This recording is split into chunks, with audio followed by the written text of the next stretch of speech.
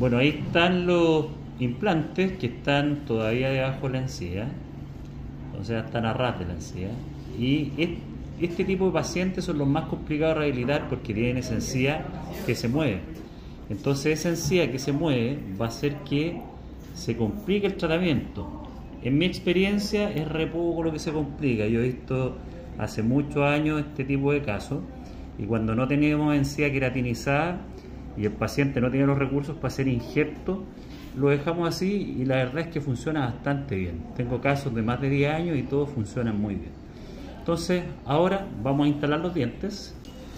Entonces aquí están los dientes en porcelana, como ustedes pueden ver. Y esta cosa que es tan recómoda, se la vamos a instalar aquí, en las preparaciones. Entonces, vamos a ver cómo queda instalada. Bueno, y aquí ya concluimos con la instalación de los dientes. Ahí están instalados. Ella no tiene anestesia, no tiene absolutamente nada. Ahora, por favor. Y ustedes verán ahí lo cómodo que son estos dientes y miren cómo se ve la terminación. Entonces, la gracia es que estos dientes van a proteger la encía con el perfil de emergencia. Entonces, el alimento no se va a impactar aquí abajo. Ahora, es real hay técnicas mucho más modernas y técnicas que nos permiten mejorar casos como estos. Puedo hacerlo, tengo la capacidad. Ahora, mi paciente quiere hacerlo entendiendo la morbilidad que significa. Hay pacientes que sí quieren pasar por inflamación y cirugías cruentas, donde el postoperatorio es realmente poco tolerable.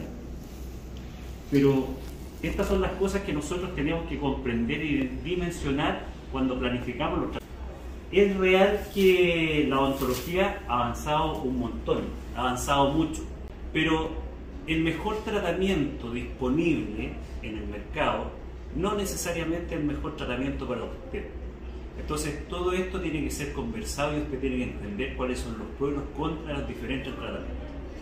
A ella le podría haber hecho un injerto en bloque, le podría haber tomado tejido del paladar y haber mejorado la condición pero ella no tiene los recursos para cobrarle 4 millones de pesos más solo por eso y hacerle esperar quizás dos años. Ella tiene unos 70 años, unos 65 por ahí, y ella quería sus dientes pronto. Entonces, mi función y mi obligación es informar. Junto con ustedes tengo que tomar la mejor decisión. Así que espero les haya gustado y lo entiendan y nos vemos en un próximo video.